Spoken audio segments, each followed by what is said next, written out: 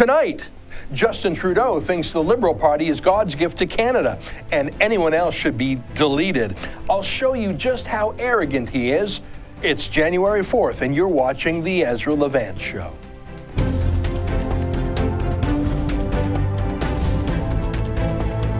Why should others go to jail Why? when you're the biggest carbon consumer I know? There's 8,500 customers here, and you won't give them an answer. You come here once a year with a sign, and you feel morally superior. The only thing I have to say to the government about why I publish it is because it's my bloody right to do so.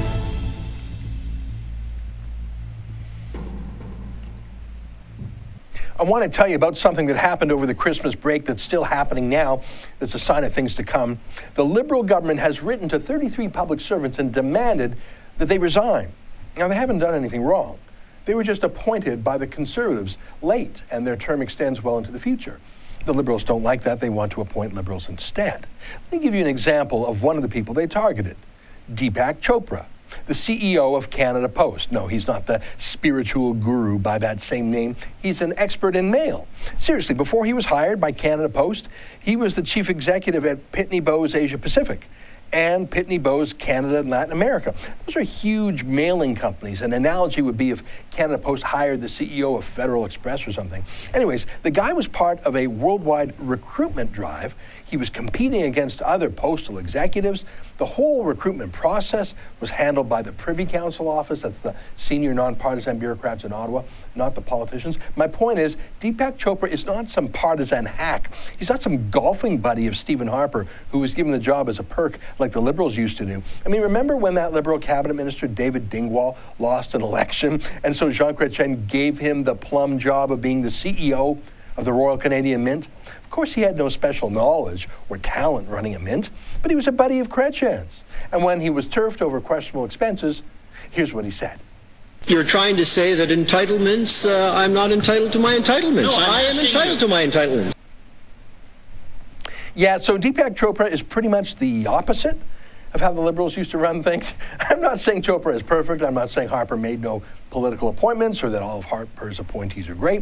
I'm just pointing out that the liberals are trying to purge anything that has the mark of Stephen Harper on it, even solid nonpartisan technocrats like Deepak Chopra. And what are they trying to do? Make room for David Dingwall again? The reason I mention all this is because it's part of a psychology that liberals have rolled out in the two and a half months since they were elected. That nothing that happened under Stephen Harper is legitimate. That that wasn't even the real Canada. I mean, it's even in their slogans. Canada is back, for example. Well, actually, Canada was always here. It's fine for liberals to say, the liberals are back, but they're doing that liberal thing where they blur the two as if the Liberal Party is Canada and Canada is the Liberal Party. They're the entitled ones, the deserving ones, and anyone else is just an aberration. Think about the hubris there. Canada is back, as if the past nine years were false, not the real Canada, as if there was an illegal usurper on the throne. It's like that old Roman concept of damnatio memoriae. That's Latin for may their memory be damned. That's what Roman emperors would do to folks they just assassinated or to traitors. Any law that that traitor would have ever passed would immediately be nullified. Their property seized. Any statues made of them would be destroyed. They would be blotted out of even paintings and mosaics that's to be basically to unperson them. That's what George Orwell called them in his book 1984. Here's how Joseph Stalin did it. He just airbrushed out an unperson from official photos. Do you think I'm being too dramatic here? Well, here's what Melanie Joly, the new Liberal Minister of Heritage, says she plans to do. She plans to uproot any cultural symbols made in the last nine years. Let me quote it's very interesting to be in charge of symbols of progressiveness. That was the soul of our platform. The past government didn't have the same vision and values as Canadians, and to that extent, some symbols were changed. And just in case you weren't clear about it, she's going to change the symbols back. For example, that memorial for victims of communism that Stephen Harper had planned, gone. Shame on Harper for delaying it for so long to build it, but since it wasn't built, the Liberals just sacked it. Here's what Joly said about it. Commemorative monuments play a key role in reflecting the character, identity, history, and values of Canadians. They should be placed uh, places of reflection, inspiration, and learning, not shrouded in controversy, unquote. Oh, so, so it's controversial to have a memorial for victims of communism. Controversial to whom? Why, that's obvious. It's controversial to people who don't think communist regimes did anything wrong, like her boss.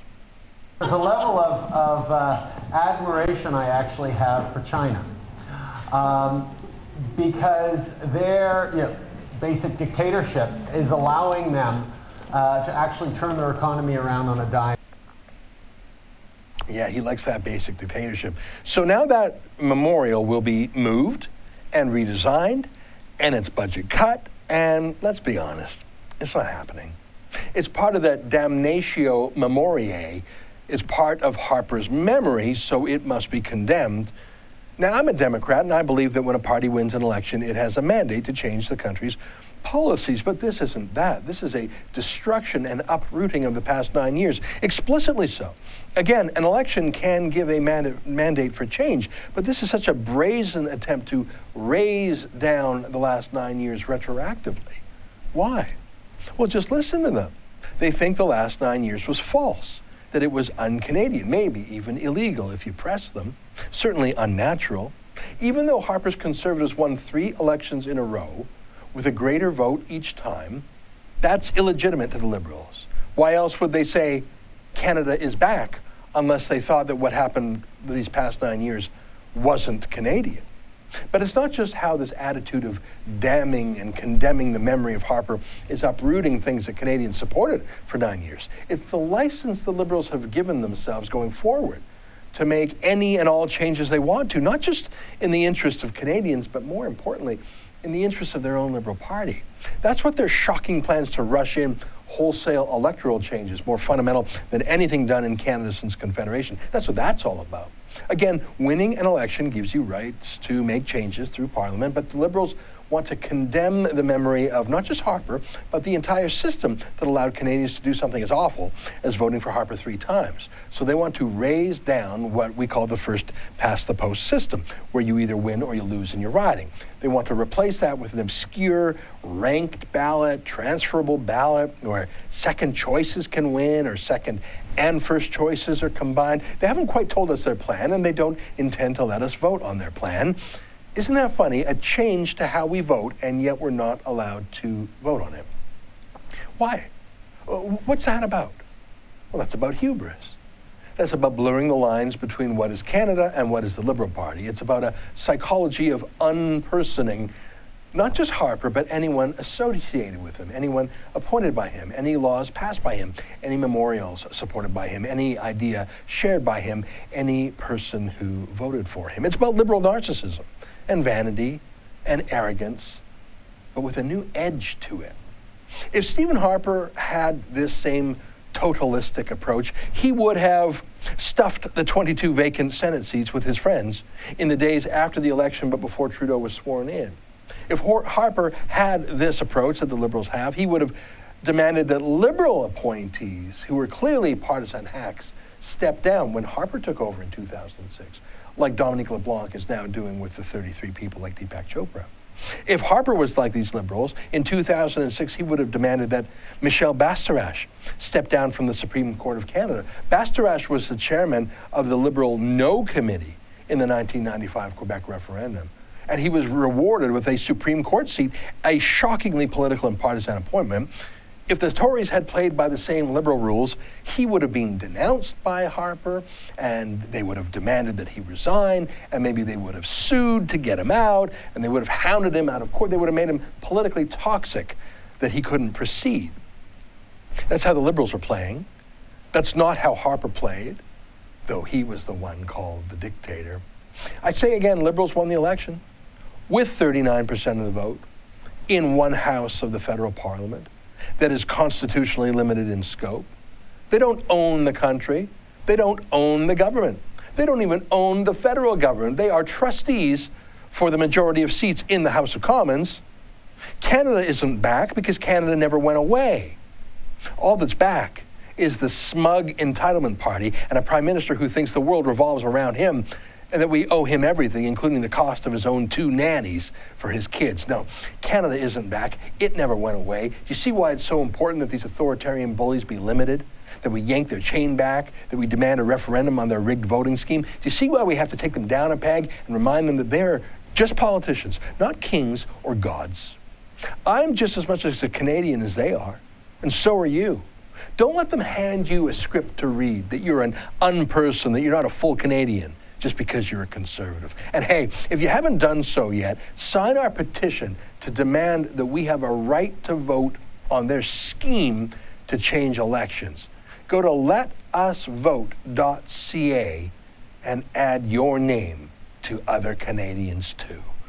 After the break, we'll talk about refugees with refugee expert Guidy Mamann. Stay with us.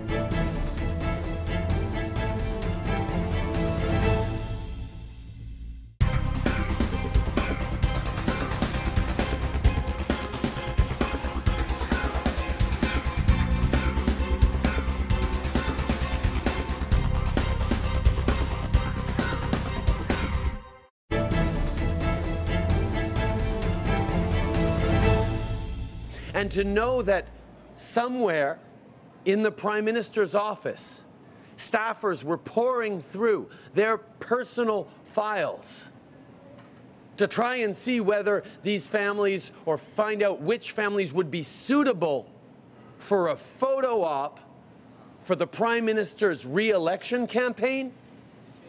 That's disgusting. That's not the Canada we want. That's not the Canada we need to build. Whether a Liberal government would prioritize ethnic and religious minorities. Absolutely not. That's Justin Trudeau before he was prime minister in the thick of campaign of the campaign making it crystal clear that his liberal government will not favor minorities in the region, Yazidis, Christian Arabs, Kurds, the lambs upon which the Islamic State wolves are feeding. He's crystal clear. He's going to bring over Muslims in any any proportion, not going to focus on the Yazidis or other minorities. That sounds odd to me. It seems to me that refugees should be the weakest of the lot.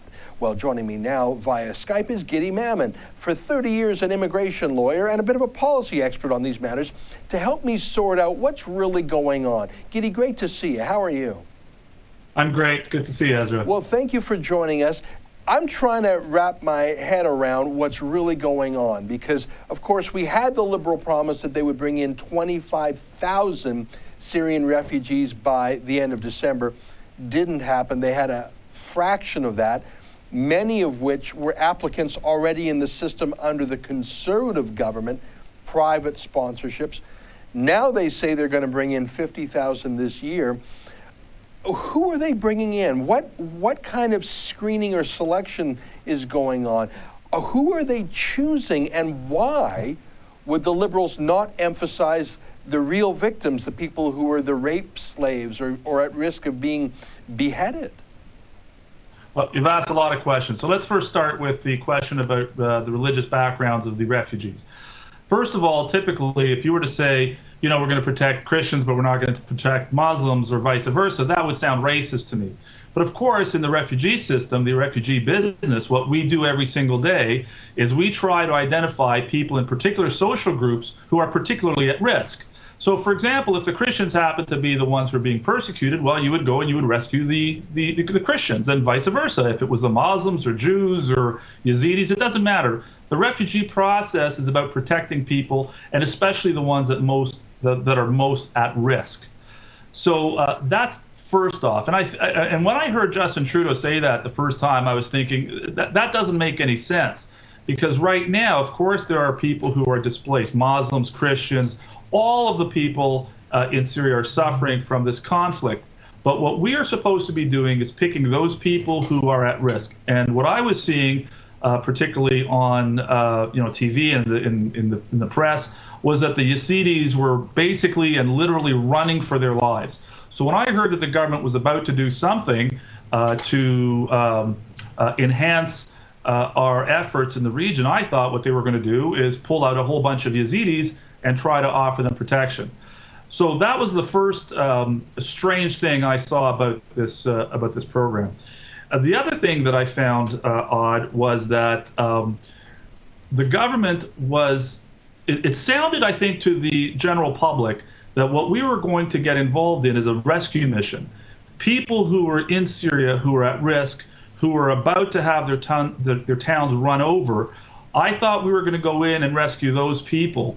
But in fact, the government said that they're going to make sure that all of the processing and all of the background checks are done before they bring them in within a certain timeline, which was a ridiculous timeline of December 31st. Uh, and they said, we're going to bring in those people. Well, that immediately excluded anybody who's still in Syria because we don't have any assets in Syria. We have no way of conducting background checks. We have no way of, of, of obtaining uh, travel documents and identification documents if they're in a conflict zone. So immediately, um, this was not a rescue operation. What they decided to do instead is because they didn't have time because of their own self imposed um, time limitations, they said, We're going to go and pull people out who've already reached sanctuary, who've already reached a place of safety, namely Lebanon, Jordan, etc. Well, those people are are are now safe. They've managed to get out of the conflict zone, and they're now in a place where they may or may not be comfortable. But what we are doing is really not helping people reach safety. We we're now helping people who've already reached safety, and who now are looking for a better situation. So that's the that was the two main odd things. Um, but it gets worse. Uh, you know, first of all, before I I I, uh, I sound um, overly critical of a refugee program, I've dedicated my life to helping refugees, and I give um, uh, Justin Trudeau uh, 10 out of 10 for wanting to help people. So that's terrific. But after that, the execution of this plan uh, is horrible. Uh, you know, he said that he wanted to bring in 25,000 of, of these people who already are, are in the pipe, people who've already been pre-selected, who are already being sponsored by Canadian sponsors. And he announces that he's going to bring in 25,000 by December 31st. What he didn't know, possibly because he didn't ask, is that we only had 8,400 people who meet the criteria that he had.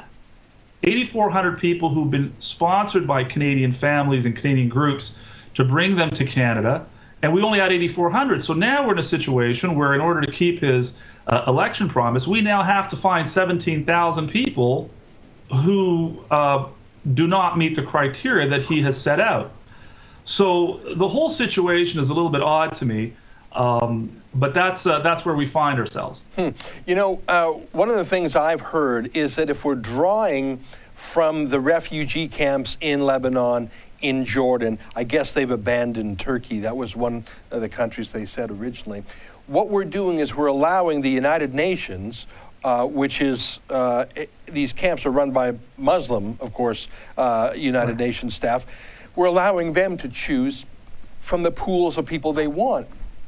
I've heard that many of these true minorities, the Yazidis, the Kurds, the Christians, don't want to go to these refugee camps because they're still victimized in those refugee camps, again, by the other Syrian Muslims who are refugees. So even once you're in Jordan or Lebanon or Turkey, there is still violence where the Syrian Muslims rape or are, are physically violent in other ways to Yazidis Christians. So we are actually uh, under proportioning the true victims that you and I talked about before. Have you heard any concerns about that? That letting a third party, the United Nations, with their own agendas and interests, select from these camps, that that is going to skew this even further?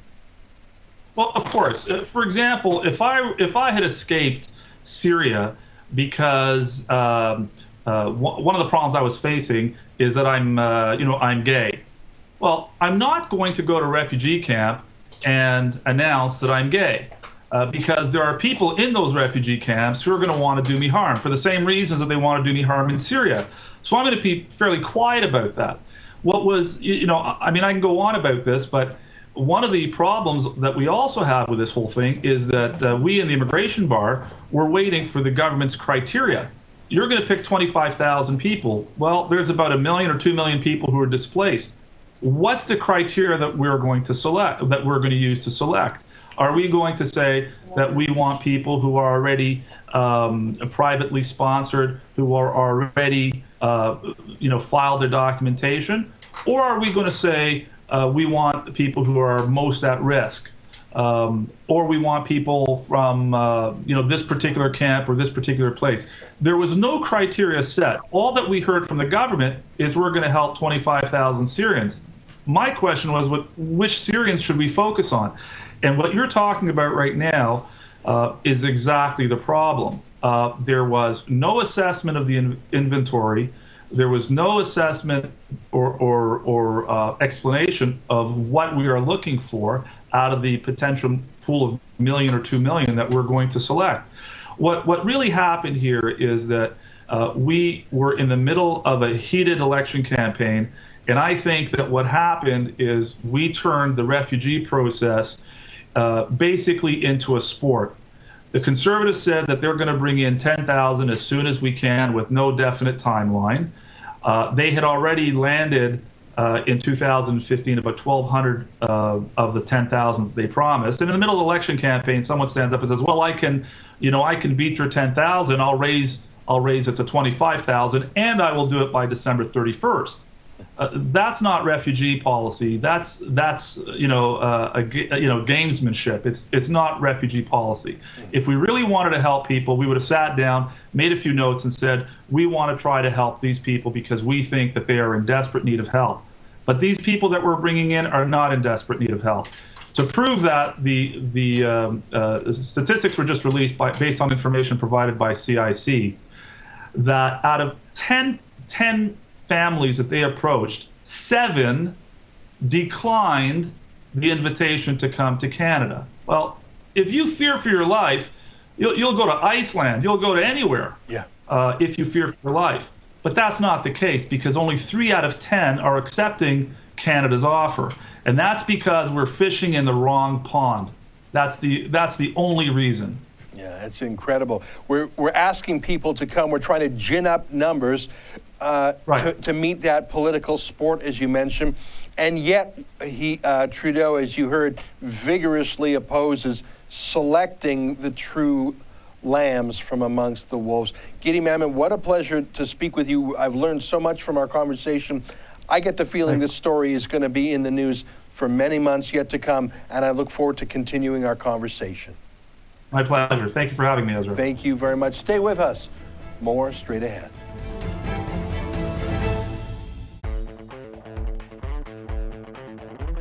Looking for the perfect gift? Did you know the Rebel.media has a store? Make a statement with a t shirt. Have your morning coffee in a Fearless Travel coffee mug. There's even an Ezra Levant bobblehead. It's a one stop shop for the perfect gift. And don't forget to pick up something for yourself. Go to the rebel.media slash store to find out more.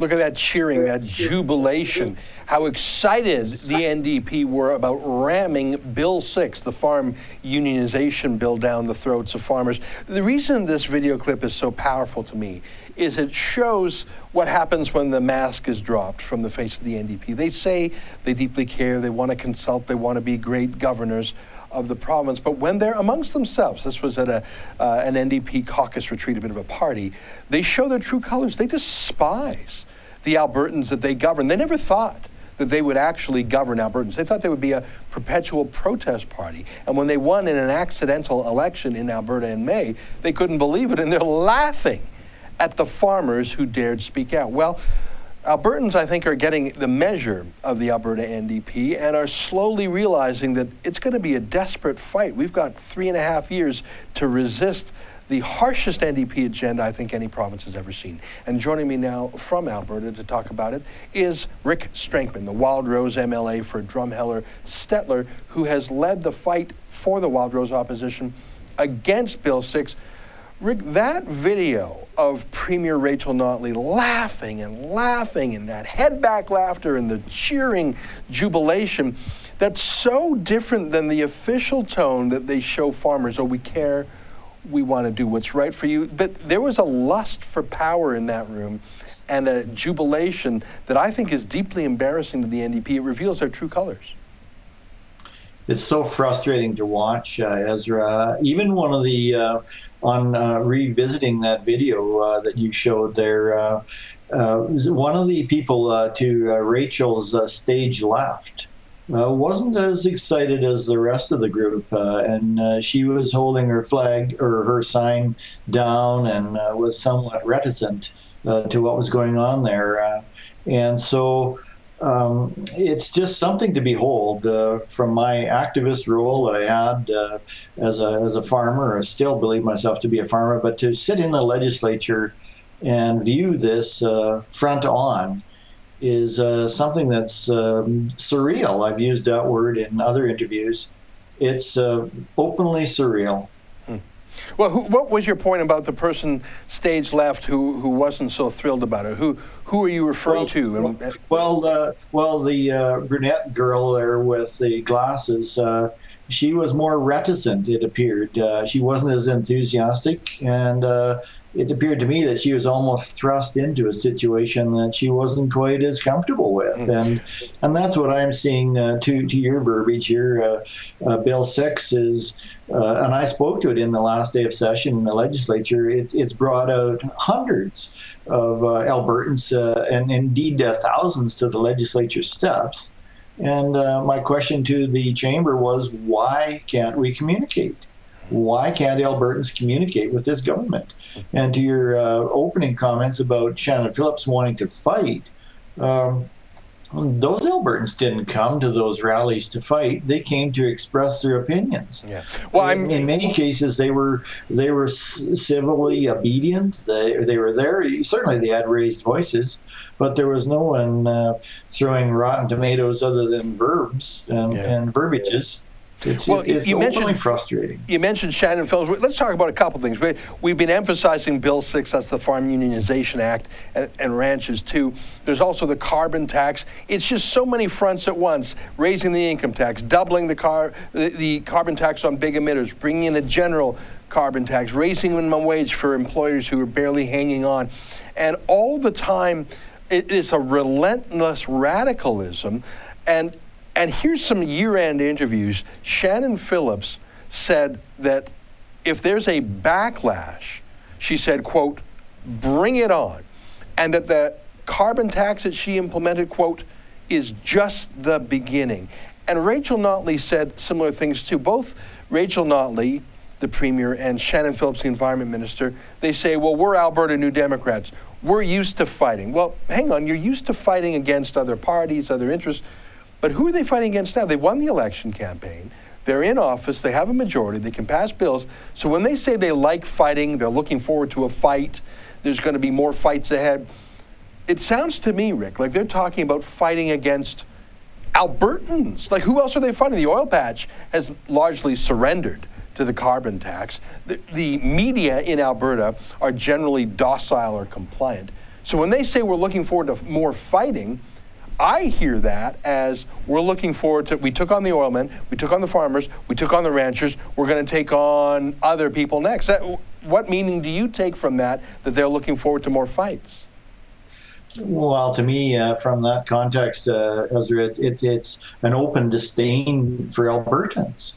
And they don't understand or realize who actually uh, who, who they are representing. That is their role as a representative. Uh, again, to the last day of session, uh, uh, Energy Minister Margaret McCuaig Boyd uh, openly very emotional about uh, the response she was getting, it seemingly from from her constituents, and I, I, I spoke to her after session about that. You have to understand your role. We are representatives.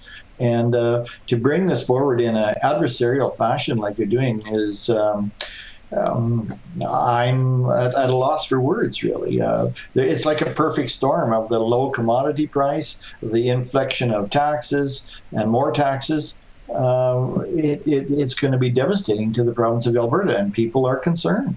We've talked about three people so far the Premier Rachel Notley, Energy Minister Margaret McCuaig Boyd, and Shannon Phillips, the Environment Minister. One thing all three of them have in common is that they're chiefs of staff, that is, they're senior uh, staff or advisor that implements their will. In all three cases, are people from outside Alberta. In the case of the Premier, it's a Toronto labor organizer named Brian Topp. In the case of Shannon Phillips, it is a former convicted violent criminal from Manitoba named Brent Dancy. In the case of Margaret McCuaig Boyd, it's an anti oil lobbyist uh, named Graham Mitchell.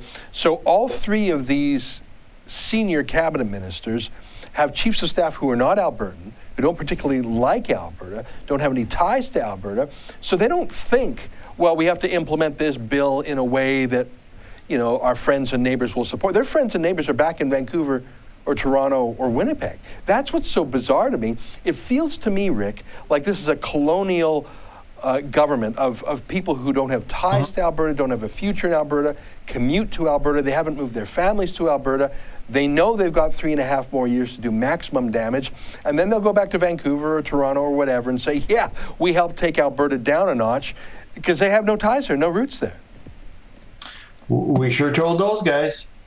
Yeah. It's uh, it, it, it's uh, it's frustrating, Ezra, and uh, you know, and through all that, um, uh, it's openly frustrating, but I still believe in democracy, and uh, I see a lot of uh, civic pride, uh, patronage, uh, or not patronage, but uh, civic enthusiasm rising up. When you have 1,800 people come to the steps of the legislature, it's a it's a um, a moment that's very emotional. And and I was on the steps there that day and talked to some of those demonstrators that are, are frustrated with the direction this province is taking. And uh, the Wildrose uh, Party is doing their very level best to bring the values of uh, what we believe to be the true values of Albertans forward in the legislature and throughout the constituencies throughout the province. Well, Rick, I appreciate talking with you, and I uh, we have a lot of viewers in Alberta. But even for those outside Alberta, I think this is an important story because Alberta has been such an economic engine for the rest of the country, such a net contributor uh, financially to the country. Uh, it, it's it's been uh, in so many ways a selfless province. It has transferred billions to the rest of the country, been a magnet for jobs for young people everywhere, and so it's important to the whole country economically, but it's also an important, uh, terrible laboratory experiment of what happens when big government ideas like a carbon tax are implemented. I weep for Alberta that it has become a science experiment for the NDP socialist ideas. But hopefully, it's a uh, it's a cautionary tale for other provinces. Unfortunately, I think there's going to be a lot more bad lessons that we have to be taught before we can get rid of them. Rick Strankman, great to talk to you today.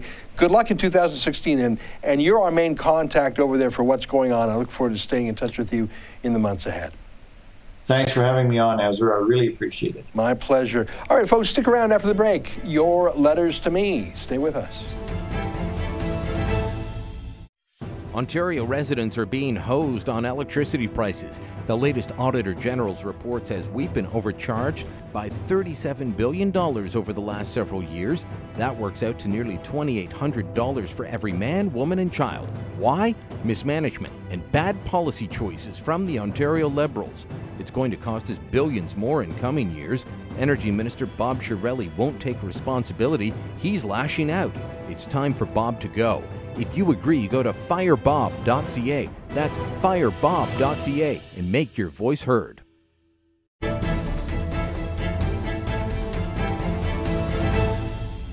Hey, welcome back. My favorite part of the show, your feedback. Todd Ouellette writes about my interview with Tommy Robinson.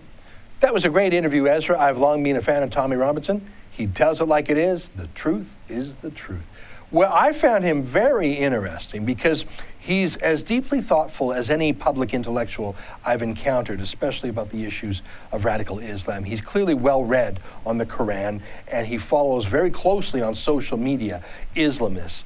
But he is from the streets. I mean, you saw him. He's the kind of guy who likes to get into rumbles. He's not afraid of it. He's been punched in the nose more than once.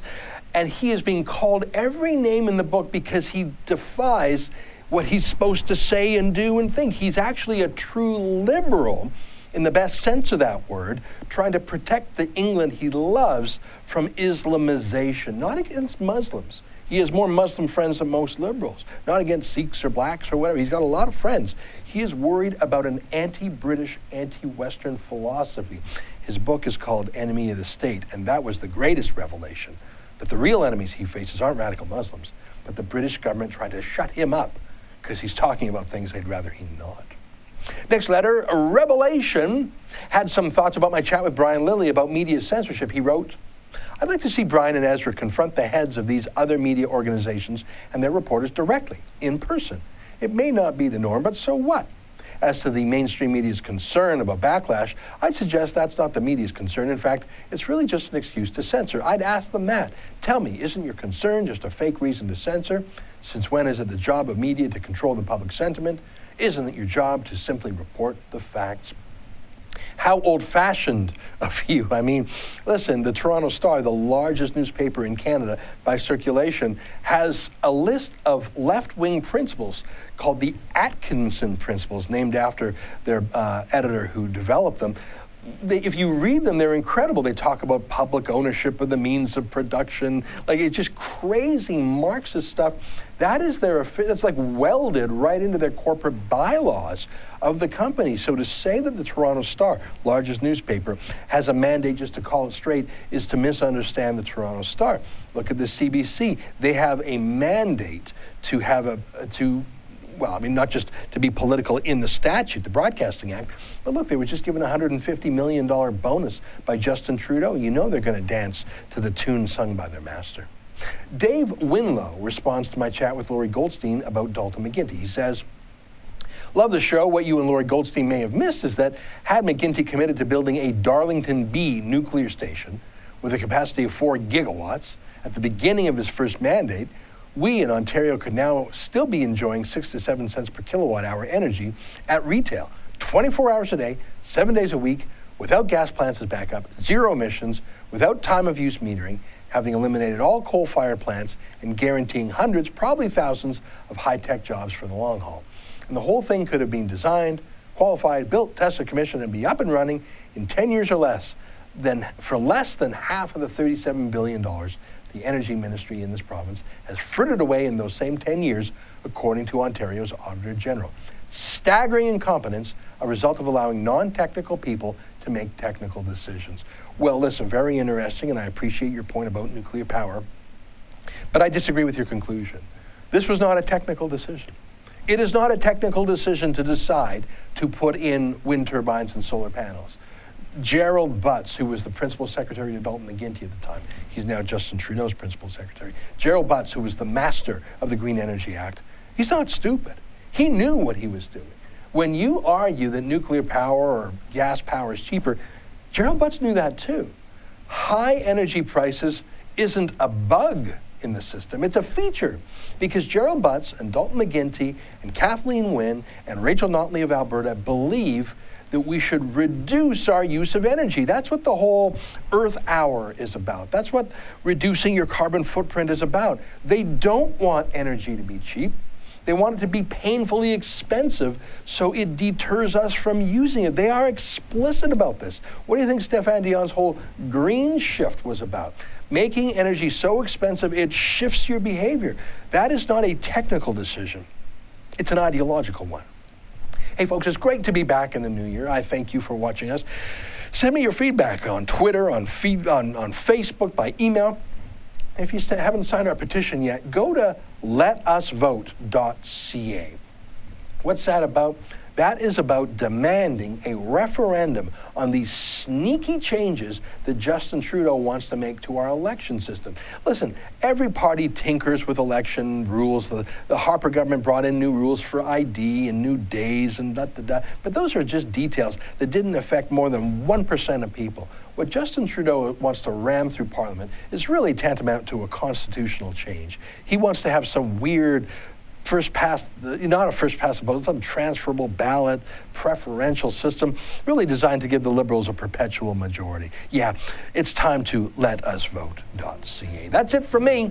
We'll see you tomorrow, everybody. Keep fighting for freedom.